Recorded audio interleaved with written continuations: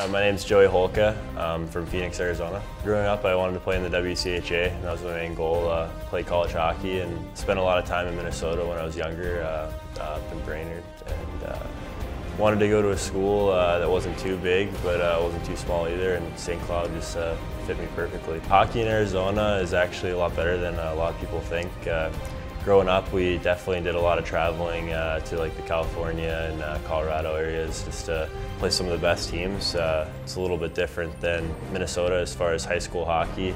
It's uh, more of like a club hockey atmosphere. We had uh, one main team in Arizona.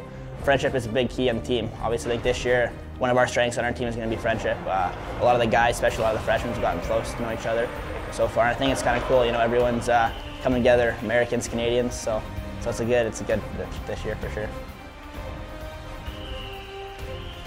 I spent a lot of time with Ben Hanowski. Uh, I feel like uh, we play a little bit similar. Um, he's kind of a power forward type guy, and uh, I've kind of looked at him to see uh, what he does, uh, how hard he works off the ice, and just how he carries himself in general. And uh, I feel like I can learn a lot more from him too.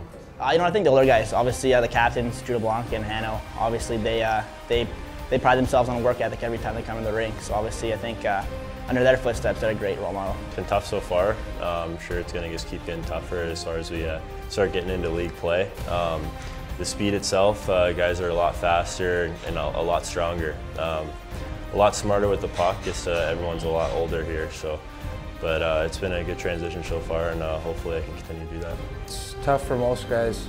Um, just the speed and the strength uh, of everyone is a lot bigger. Everyone's a lot bigger and better than they were in juniors. So, um, you know, I think I'm coming along, you know, well with it, but you know, still a lot of work.